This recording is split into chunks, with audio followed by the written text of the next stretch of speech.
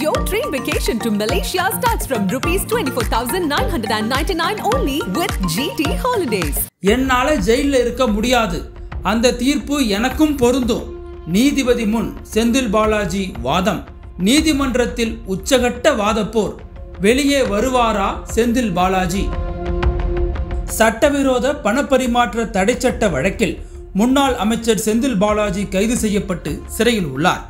ஒரு வருடத்திற்கு மேல் நீதிமன்ற காவலில் புழல் சிறையில் உள்ள நிலையில் ஜாமீன் கோரி செந்தில் பாலாஜி தாக்கல் செய்த மனுக்களை சென்னை மாவட்ட முதன்மை அமர்வு நீதிமன்றம் சென்னை உயர்நீதிமன்றம் மற்றும் உச்சநீதிமன்றம் ஆகியவை தொடர்ச்சியாக தள்ளுபடி செய்தன. மீண்டும் செந்தில் பாலாஜி தரப்பு ஜாமீனுக்காக உச்சநீதிமன்றத்தை நாடியுள்ள நிலையில் தொடர்ந்து விசாரணை நடைபெற்று வந்தது. இந்த நிலையில் கடந்த திங்கட்கிழமை நடைபெற்ற வழக்கு விசாரணையில் அமலாக்கத்துறை தரப்பும் செந்தில் பாலாஜி தரப்பும் கடுமையான வாதங்களை முன்வைத்தனர். செந்தில் பாலாஜி தரப்பு வாதத்தை பொறுத்தவரை நான் இப்பொழுது அமைச்சராக இல்லை. அதேபோல் வழக்கில் என்னுடைய எந்தவிதமான தலையீடும் இருக்காது என ஏற்கனவே உறுதியளித்து விட்டேன். அப்படி இருக்கும் பொழுதும் தனக்கு பிணை வழங்காமல் இருப்பது தேவையில்லாத ஒன்று. மணீஷ் சிசோடியாவுக்கு ஜாமீன் வழங்கப்பட்ட போது கொடுத்த தீர்ப்பு தனக்கும் பொருந்தும் என செந்தில் பாலாஜி தரப்பில் வாதங்கள் வைக்கப்பட்டது. ஆனால் நீதிபதிகள் உங்களின் இடம் ஏற்கனவே கேள்விக்குறியாக்கப்பட்டு இருக்கிறது. நீங்கள் இந்த விவகாரத்தில் சம்பந்தப்பட்டிருக்கிறீர்கள். சாட்சியத்தை கலைப்பீர்கள் என்ற வாதத்தை அமலாக்கத்துறை கடுமையாக முன்வைக்கிறார்கள் என்றனர்.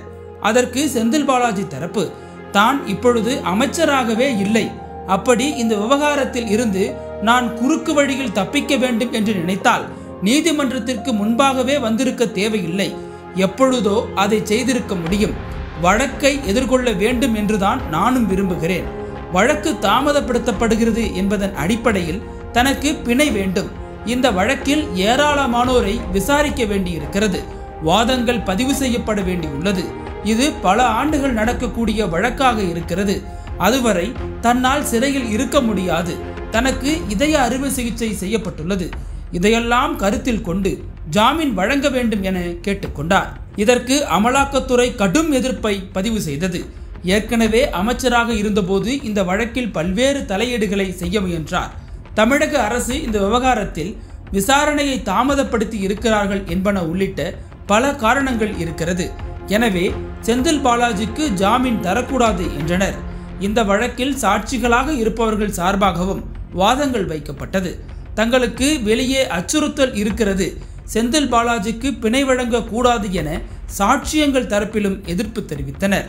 அனைத்து தரப்பு வாதங்களையும் கேட்டுக்கொண்ட நீதிபதிகள் தீர்ப்பினை தேதி குறிப்பிடாமல் ஒத்திவைத்திருக்கின்றனர். உங்கள் நக்கீரன் இதழில் கதாசிரியர் தயாரிப்பாளர் இயக்குனர் என பன்முகம் கொண்ட திரைக்கலைஞர் வி சி குகநாதன் எழுதி வரும் சினிமா கொட்டகை பரபரப்புக்கு பஞ்சமில்லா தொடர். வாங்கி படியுங்கள். நக்கீரன். நக்கீரன் டிவிக்கு சப்ஸ்கிரைப் செய்யுங்கள். உங்கள் ஆதரவே எங்கள் பலம் ஆசிரியர்களுக்கு நண்பனாகவும் மாணவர்களுக்கு ஆசானாகவும் திகழும் தேர்வு வழிகாட்டி. ஒவ்வொரு பாடத்திற்கும் அனுபவமிக்க ஆசிரியர்களின் துல்லியமான தெளிவான விடைகள். சிஎன்சி இருக்கு தேர்வு பயம் எதற்கு? இது தீரன் பப்ளிஷிங் ஹவுஸ் விற்பனை வெளியீடு.